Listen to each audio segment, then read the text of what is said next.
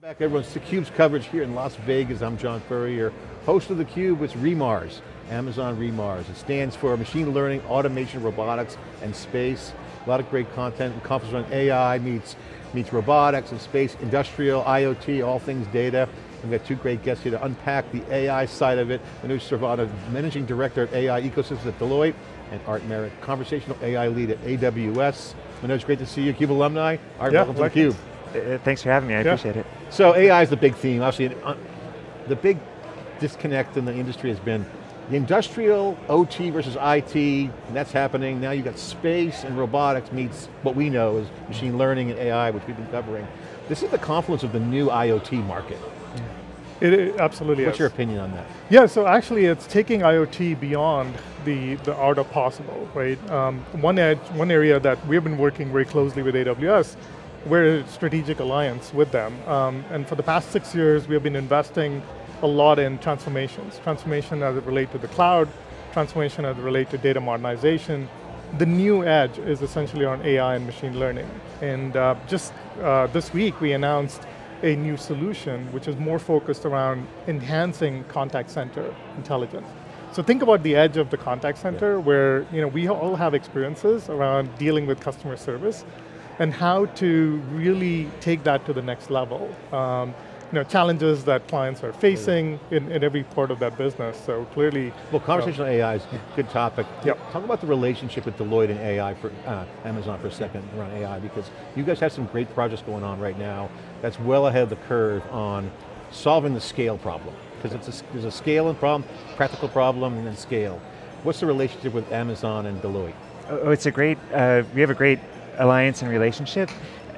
Deloitte brings that expertise to help folks build high quality, highly effective conversational AI, and enterprises are implementing these solutions to uh, really try to improve the overall customer experience. So they want to help agents improve productivity, um, gain insights into the reasons why folks are calling, but it's really to provide that better user experience, being available 24-7 on channels users prefer to interact, and the solutions that Deloitte is building are, are highly advanced, super exciting. Like we, when we show demos of them to potential customers, the eyes light up and they want Give an example solutions. when their eyes light up. What are, what are you showing them? Uh, one solution is it's called multimodal interfaces. So what this is is when you're uh, call into like a voice IVR, uh, Deloitte's uh, solution will send the folks, say, a, a mobile app or a, a, website, so the person can interact with both the phone, the touching on the screen, and the voice, and it's all kept in sync. Um, so imagine you call the doctor's office, or say I was calling an airline and I wanted to uh, change my flight, or sorry, change the seat. If they were to say seat 20D is available, well, I don't know what that means, but if you see the map while you're talking, you can say, oh, 20D is the aisle, I'm going to select that. Mm-hmm. So Deloitte's doing those kind of experiences, it's incredible. Manoj, this is yep. where the, the magic comes into play, when you bring data together and you have the integration like this. Yep. Asynchronously or synchronously, it's all coming together, you have different platforms, yep. phone, voice, siloed databases potentially, the old way, now the new way is integrating. What makes it all work? What's the key to success? Yeah, it's certainly not a trivial feat, right? Bringing together all of these ecosystems of relationships, technologies all put together, um, we cannot do it alone, right? This is where we partner with AWS, with some of our other partners like Salesforce and OneReach, and really trying to bring a symphony of some of these solutions to bear. When you think about, you know, going back to the example of contact center, the challenges that the pandemic posed in the last couple of years was the fact that there was a humongous rise in volume of number of calls. You can imagine people calling in, asking for all kinds of different things, whether it's airlines, whether it is doctor's office and, and, and retail. And then eh, coupled with that is the fact that there's the labor shortage, right? And how do you train agents to get them to be productive enough to be able to address hundreds or thousands of these calls? And so that's where we have been starting to, you know, we have invested in, that, mm -hmm. in those solutions, bringing those technologies together to address real client problems, not just slideware, but actual production environments.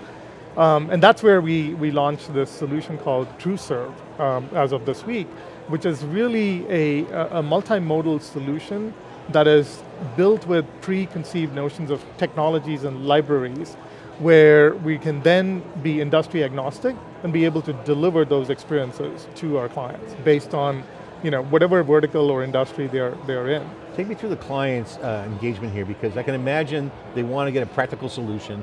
They're going to want to have it up and running, not like a, just a chat bot, but like yep. a completely uh, integrated system. What's the challenge and what's the outcome, first set of milestones that you see that they do first? Do they just get the data together? Are they deploying a software solution? What's the use cases?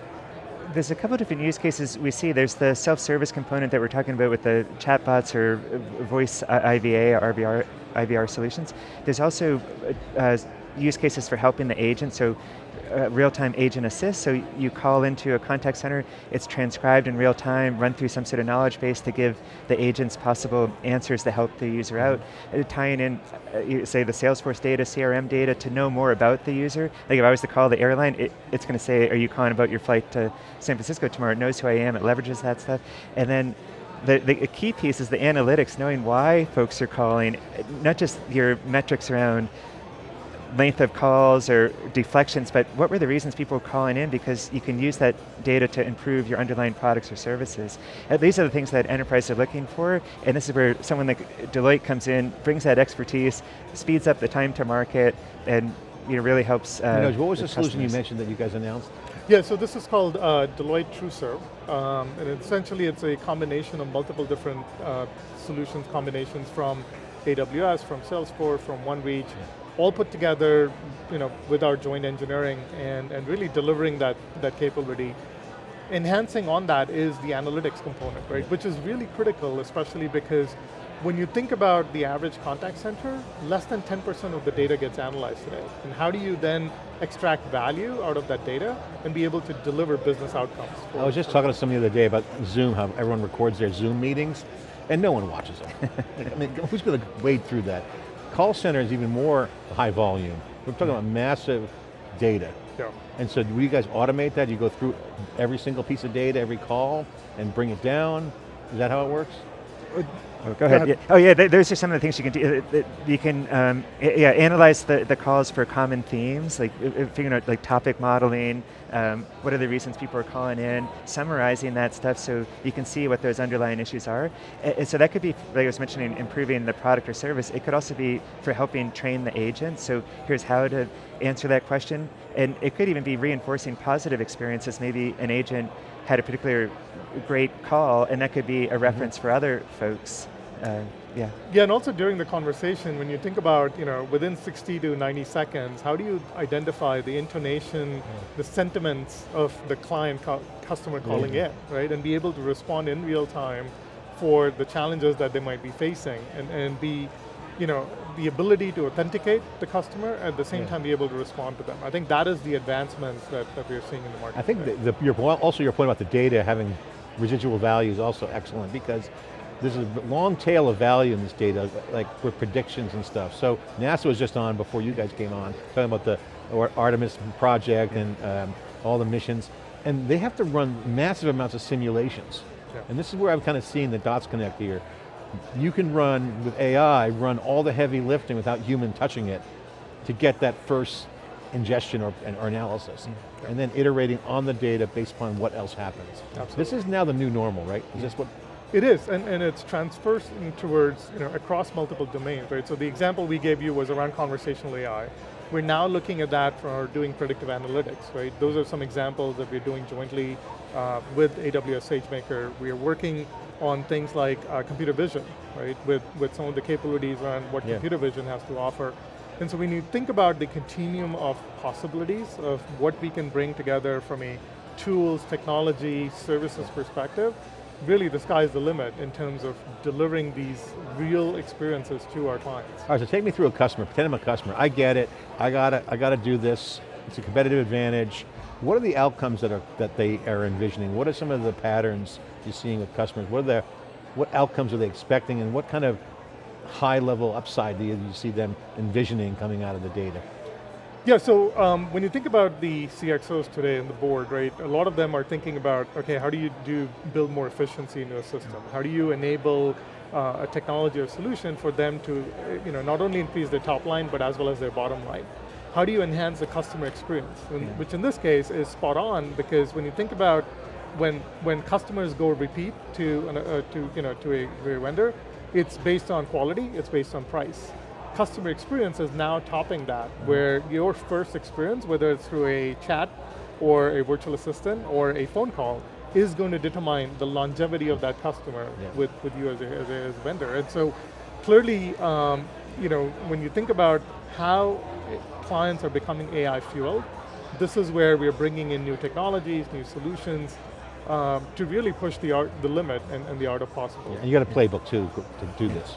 Yeah, yeah, absolutely. We have we have done that, and in fact, we're now taking that to the next level up. So um, something that I've you know mentioned about this before, which is how do you trust an AI system, right, as it's building up? Hold on, hold Yeah. on, put the plug in. Yeah, absolutely. The book is here for a reason to remind me. No, but also it's trust is a big thing. Just put about trustworthy. This is an AI ethics question. It's a big Yeah. Let's get into it. This is huge. Yep. Data is data. Data can be biased from coming in. this part, part of it, there, there are there's concerns you have to look at the bias in the data. It's also how you communicate through these automated channels, being empathetic, um, building trust with the customer, um, being concise in the a- answers, and uh, being accessible to a- a- all, sorts of different folks and how they, they might uh, uh, communicate. So it's definitely a, a big area. I mean, you think about just normal, normal life. Have, we all lived situations where we got a text message from a friend or uh, someone close to us where, what the hell, what are they saying? And they had no contextual bad feelings about it, or, well, there's misunderstandings. Because the context isn't there, because you're rapid fire, I'm on the subway, I'm, run, I'm riding my bike, I stop to text, okay, I'm okay. Terse response could mean, I'm busy or I'm angry. Like, Yeah. Yeah. this is now what you said about empathy. This is now a new dynamic in here. Oh, the empathy is huge, especially for if you're, say, a financial institution, or you know, building that trust with folks and being empathetic. If someone's reaching out to your contact center, there's a good chance they're upset about something. so you, you, you have to take that Calm them down first. yeah, a- a- and, not being um, like the, you know, the false like platitude kind of things. Like Yeah. really being empathetic, being inclusive in the language. Those are things that you have conversational designers and linguistics folks that really look into that. Th- that's why having domain expertise from, you know, folks like Deloitte come in to help with that. Because maybe if you're just building the chatbot on your own, you might not think of those things, but the folks with the domain expertise will say like, hey, yeah, this is how you Yeah. script it. It's the power of words. Um, you know, getting that, that message across uh, clearly. The linguistics matter. Right? Yeah, yeah. It, it does, and, and By uh, vertical too. I mean, you can pick any, the tribe, whatever orientation and age, demographics, genders.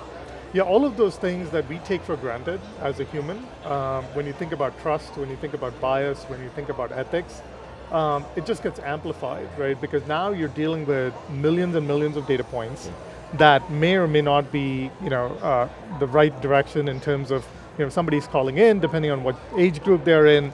Some questions might not be relevant for that age group, right? Now, a human can determine that, but a bot cannot. And so, how do you make sure that when you look at this data coming in, how do you build models that are ethically aware of the contextual you know, algorithms and the alignment with it, and also enabling that experience to be much enhanced than taking it backwards, right? And that's really the I can the key. imagine it getting better with, as people get scaled up a bit, because then you're going to have to start having AI to watch the AI at some point, as they say. Um, where are we in the progress in the industry right now? Because I know there's been a lot of news stories around you know, ethics and AI and bias, and it's a, it's a moving train actually, Yeah. but still, problems are going to be solved. Are we at the tipping point yet? Are we still walking in before we crawl, or crawling before we walk, I should say? I mean, where are we? Yeah. I, I think we are in between a crawl and a walk phase. Um, and the reason for that is because it varies depending on whether you're a regulated industry or an unregulated, right? In a regulated industry, there are compliance regulations, requirements, whether it's government, whether it's banking, financial institutions, where they have to meet, you know, Sarbanes-Oxley's and know, all kinds of com- compliance requirements. Whereas an unregulated industry like retail and consumer, um, it is anybody's game, right? And so, so the reality of it is that there is more of an awareness now, and, and that's one of the reasons why we have been promoting this, you know, jointly with AWS. We have a framework that we have established, right, where there are multiple pillars of, you know, trust, bias, privacy, and security that companies and organizations need to think about, right? Our data scientists, ML engineers need to be familiar with it, but you know, because while they're you know super great in terms of model building and development, um, when it comes to the business, when it comes to the client or a customer, it is super important for them to trust this platform, this algorithm, and that is where we're trying to you know, kind of build that momentum, bring, bring that awareness. One of my colleagues has written this book, Trustworthy AI. We're trying to take the message out to the market to say, there is a framework, we can help you get there, and, and certainly that's what we're doing today. Just call Deloitte up and Yeah. they'll, they'll take care of them. Yeah, On the Amazon side, Amazon Web Services, I always interview Swami every year at re:Invent, and uh, he always got the updates. He's been bullish on this for a long time, on, the, on this conversational AI. Uh, what's the update on the AWS side? Where are you guys at? What's the current trends that you're riding? What wave are you riding right now? So some of the trends we see in customer interest, it's there's a couple of things. One is the multimodal interfaces we were just chatting about, where you, the voice IVA, IVA is synced with like a web or mobile experience, so you take that full advantage of the device. The other is adding additional AI into the conversational AI. So uh, one example is a customer that included intelligent document processing as part of the chatbot. So instead of typing your name and address, take a photo of your driver's license. It was an insurance onboarding chatbot, so you could take a photo of your existing insurance policy, it extract that information to build the new insurance policy. So folks get excited about that. And the third area we see interest is what's called multi-bot orchestration, and this is where you can have one main chatbot uh, marshal a user across different sub-chatbots based on the use case persona or even language. So those things get people really excited. And then AWS is launching all sorts of new features. I don't know which He ones I can wouldn't tell say me right tomorrow. now. I know something's coming out tomorrow. I Yeah. tried to corner him. He's big smile on his face. He wouldn't tell me. Yeah, He's we, we good. s- we have, for, for folks like the closer alliance relationships, we were able to give previews, so there's a preview of all the new stuff, but I don't know what I could, You yeah, there's some trouble pretty exciting stuff. spill the beans here. Don't be careful. Art. I'm- Yeah, I'll watch you. Yeah, yeah. I'll talk after off, off camera. Yeah. All exciting stuff. Yeah, yeah. I think I think the uh, orchestrator bot is interesting. You know, having the ability to orchestrate across different contextual data sets is Would- interesting. One of the areas where it's particularly interesting is in financial services. Imagine a, a bank could have consumer accounts, merchant accounts, investment banking accounts. So if you were to chat with the chatbot and say, I want to open an account, well, which account do you mean? And so it's able to figure out that context and navigate folks to those sub chatbots behind the scenes. And so it's pretty interesting stuff. Awesome. Manoj, while we're here, take a minute to quickly give a plug for Deloitte, what, you, what your program's about, what customers should expect if they work with you guys on this project. Give Sure. a quick commercial for Deloitte. Yeah, no, absolutely. I mean, um, you know, Deloitte has been um, continuing to lead the AI-fueled organization effort um, across, you know, our client base. Um, you know, if you think about all the Fortune 100, Fortune 500, Fortune 2000 clients, we certainly have them uh, where, you know, there are in advanced stages uh, of multiple deployments for, for AI. And we look at it all the way from strategy to implementation to operational models, right? So clients don't have to do it alone. And we, we are continuing to build our ecosystem of relationships, right? Partnerships, like the, you know, the, the alliances that we have with AWS, you know, uh, building the ecosystem of relationships with other emerging startups. To your point about how do you continue to innovate and bring those technologies to your clients in a trustworthy environment so that we can deliver it in production scale. That is essentially what we're driving. Well, Art, this was a great conversation. And the AI will take over from here as we end the segment. I see a, a bot coming on the cube later, and there might be cube replaced with robots. Right, right, right, exactly. I'm John yeah, Furrier, calling in from Palo Alto. Someday. Yeah, yeah, or you can Cube just say, bots. "Uh, Alexa, do my demo for me, or whatever it is. Yeah, yeah. Or a digital twin for yeah. John. We're going to have a robot on earlier, do a cube interview with me. I told Dave Vellante he should pipe his, his voice in, it'll be fun. Well, thanks for coming on, great conversation. Thank you. Yeah, that. thanks for having us. Okay, CUBE coverage here at re:MARS in Las Vegas. Back to the event circuit, we're back in line. Got re:Inforce, and don't forget re:Invent at the end of the year. CUBE coverage of this exciting show here. Machine learning, automation, robotics of space. That's Mars, it's re:MARS. I'm John Furrier, thanks for watching.